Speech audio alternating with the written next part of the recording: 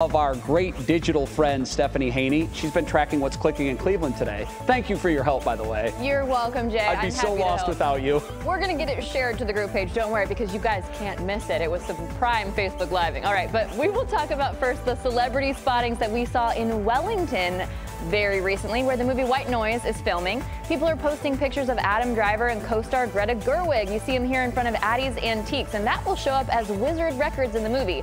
Now, Driver plays a professor at a liberal arts college where a chemical cloud gets unleashed, and he and his wife, played by Gerwig, have to face it together. Sounds very exciting, and we are glad to have them in town.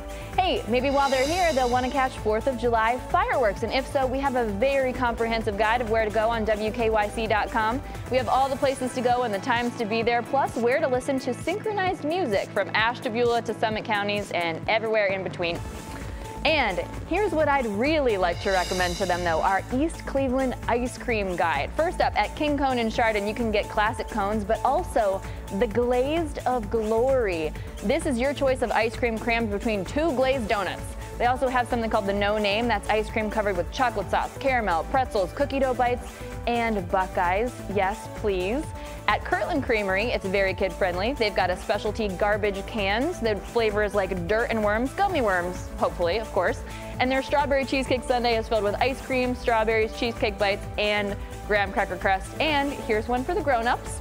At Fairport Harbor Creamery, they have boozy options like the ship-faced milkshake. With a P. With a P. They also have Dole Whip alcohol floats, thank you Betsy, filled with a White Claw or sparkling wine. Ooh. That's just a couple of the options. We have so many more on WKYC.com, and that's just in East Cleveland. We have more locations to come downtown West Side.